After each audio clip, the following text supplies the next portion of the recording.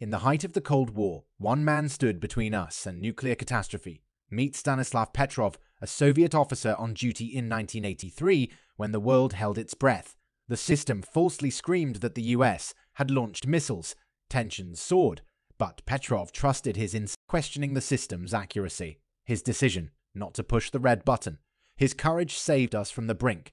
Stanislav Petrov, the unsung hero who prevented the unthinkable. In the darkest hours of the Cold War, one man's judgment saved the world.